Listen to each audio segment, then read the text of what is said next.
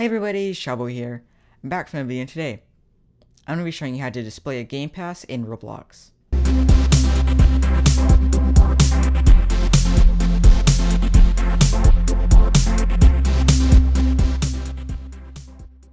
So the first thing I want to do is open the top bar if it isn't already opened.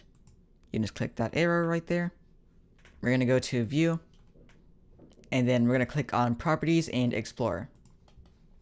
Now these should be on the screen.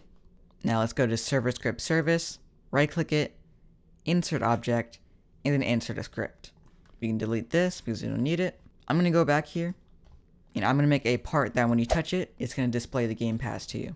So I'm to click this, I'm just going to scale it up a bit, and then whenever they touch this, I'm going to make it display the Game Pass. So we're going to go back to our script and we're going to set up some variables. So local marketplace service equals game get service marketplace service. You need this to display it. Local players equals game get service players. That is just this. Next, going to get the part. I'm to go to local part is workspace, wait for child part. And then part.touch connect function hit. And this should be all of the variables you really need. Now I'm going to get the player. So local player equals players get player from character hit dot parent. If player. So what this does is whenever the part is touched, it gets whatever touched it and it'll check if it's a player. Next we're going to display the game pass to them.